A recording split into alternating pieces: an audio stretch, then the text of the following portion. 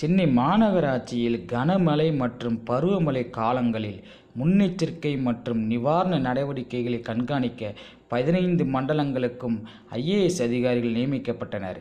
இதன்படி இன்று சென்னை மாநகராட்சி மண்டலம் ஒம்போதில் திரு சன்ஷோங்கம் ஜடக் சிறு அவர்கள் கண்காணிப்பு அதிகாரியாக நியமிக்கப்பட்டார்.